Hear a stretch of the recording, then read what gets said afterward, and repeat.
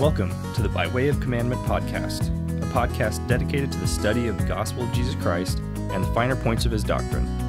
Join us as we study the gospel through the scriptures and standard works of the Church of Jesus Christ of Latter day Saints. Welcome back to the By Way of Commandment podcast, another roadside edition. So I'm currently um, I'm doing a number of things. I already mentioned that I'm kind of in the middle of the process of researching and writing a book. Um, we'll talk about that another time. But I'm also putting together um, some podcast episodes um, in a sequential fashion, a, series of episodes that have to do with various principles of the gospel, doctrines related to uh, the priesthood, the temple, uh, revelation, and, and repentance and so forth.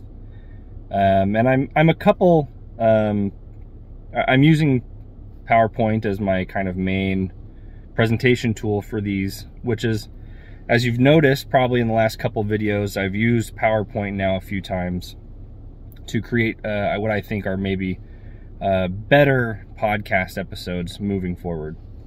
So that's what I've been doing, and um, I wanted to share a couple thoughts some things that I've been having, some thoughts I've been having as I've been putting together these PowerPoint presentations about the nature of the temple, um, the various ordinances related to the temple and, and the church, uh, the priesthood, etc.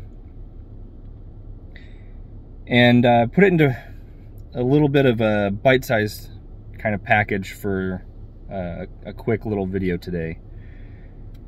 So I wanted to share a, a, quote from Elder Bruce R. McConkie. And you know, those of you who have listened to this channel for any length of time know that I've mentioned certain aspects of Bruce R. McConkie's uh, books and, and teachings that I really agree with and others that I disagree with, um, particularly when it comes to his idea of the gathering of Israel and, and uh, the Latter-day Temple in Jerusalem and so forth. Um, but regardless of all that, I, I generally love uh, Elder Bruce R. McConkie. I think um, much of his work has been very impactful on me and, and, and others in the church as well. And so I wanted to share a quote from his. This is from one of his books called The Promised Messiah. And of, of course, I'll, I'll put the, um, I'll put the source up here in the video and I'll, I'll probably put the actual quote up on the video screen as well so you don't have to look at my ugly mug. But this is what he says, and this is um, in some ways related to the last couple videos I've done about the nature of prophets, prophecy, the spirit of revelation, uh, the testimony of Jesus, um, and the blessings that one can expect to receive as a faithful disciple of Christ. Um, God is no respecter of persons. Uh, he loves each of us and wishes all of us to repent and, and come unto him. So this is from uh, the Promised Messiah. Bruce R. McConkie says, Few faithful people will stumble or feel disbelief at the doctrine here presented that the Lord's apostolic witnesses are entitled and expected to see the Lord's face, and that each one individually is obligated to call upon him in faith in mighty prayer until he prevails. But the twelve are only a dozen in number there is seldom more than 15 men on earth at a time who have been ordained to the holy apostleship. Which brings, to, brings us to another statement made by Elder Cowdery in his apostolic charge, quote, God does not love you any better or more than others. End quote. That is, apostles and, and prophets do not gain precedence with the Lord unless they earn it by personal righteousness. And here's an important statement The Lord loves people, not office holders. Every elder is entitled to the same blessings and privileges offered to the apostles. Indeed, an apostle is an elder. The priesthood is greater than any of its offices. No office adds any power, dignity, or authority to the priesthood. All offices derive their rights virtues, authorities, and prerogatives from the priesthood. It is greater to hold the Melchizedek priesthood than it is to hold the office of an elder or apostle in that priesthood. The Lord loves his priesthood holders, all of whom are given the same opportunity to do good work and work righteousness and keep the commandments. All the elders in the kingdom are expected to live the law as strictly as do the council of the twelve. And if they do so, the same blessings will come to them that flow to the apostles and prophets. Uh, God is no respecter of persons. It doesn't matter what your station is, it doesn't matter what your stewardship is. He expects us to work righteousness, He expects us to do good, He expects us to call upon His name in mighty prayer. He expects us to exercise faith unto repentance in the name of Christ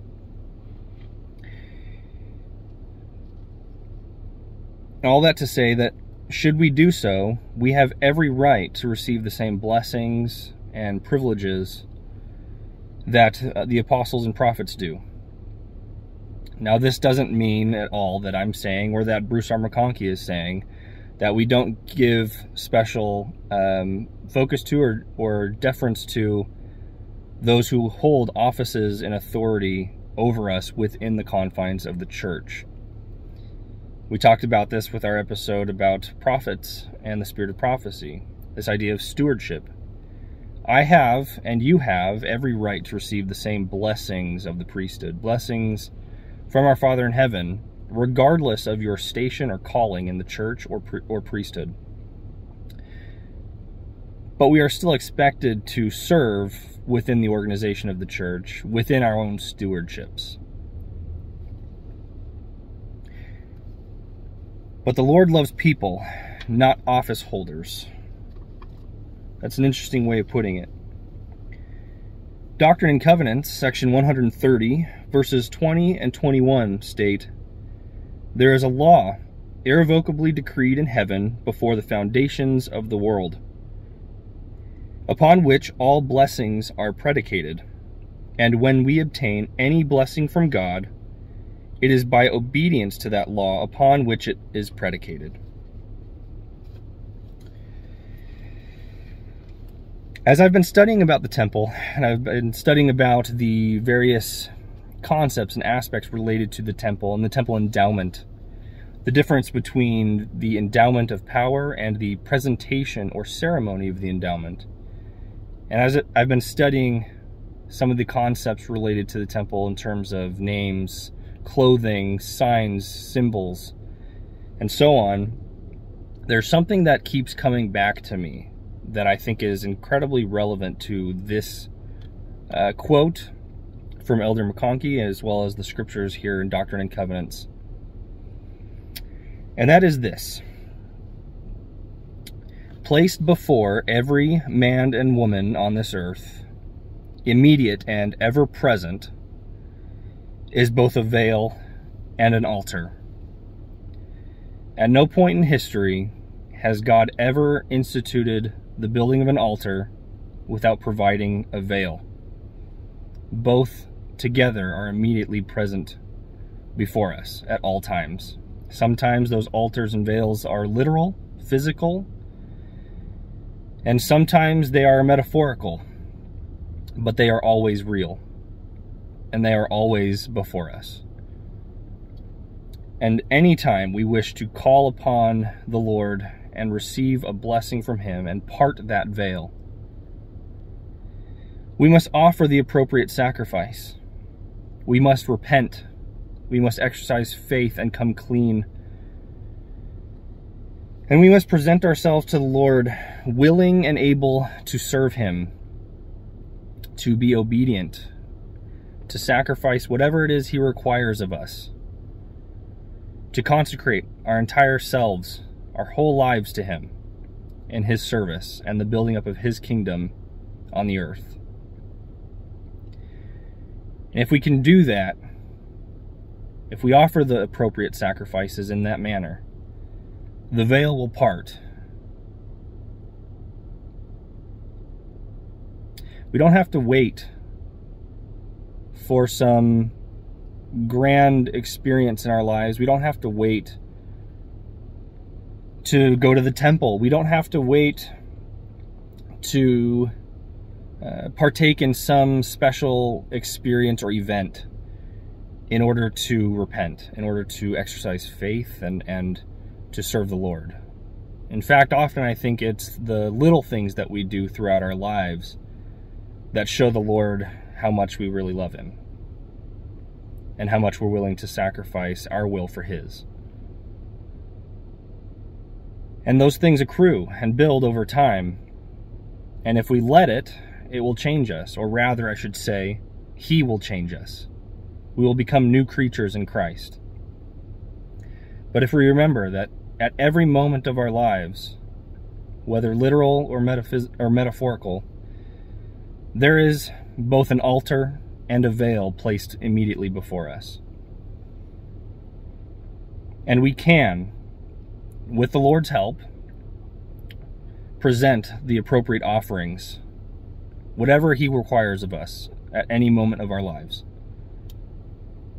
And when we do so, He will part the veil on our behalf, and we will receive those blessings from Him. This, in my view, is the main theme or, or uh, principle behind the endowment. The whole point of the the presentation of the endowment, the ceremony, is to teach us how we must live, the, and to enter the covenants that we make in the temple through those ordinances. We take that knowledge, that light and truth with us into our lives and we apply it so that we can learn how to approach the Lord and how to receive blessings from Him, and ultimately to receive the fullness of the priesthood or the fullness of the stature of God. To be brought back in His presence someday, whether in this life or the next. But these blessings are available to us if we're willing to humble ourselves and repent and seek after them. I think that's all I'm going to say for now. Um, look forward to some more podcasts using uh, some some better, more high tech presentations via PowerPoint in the future. Um, and until next time, bye.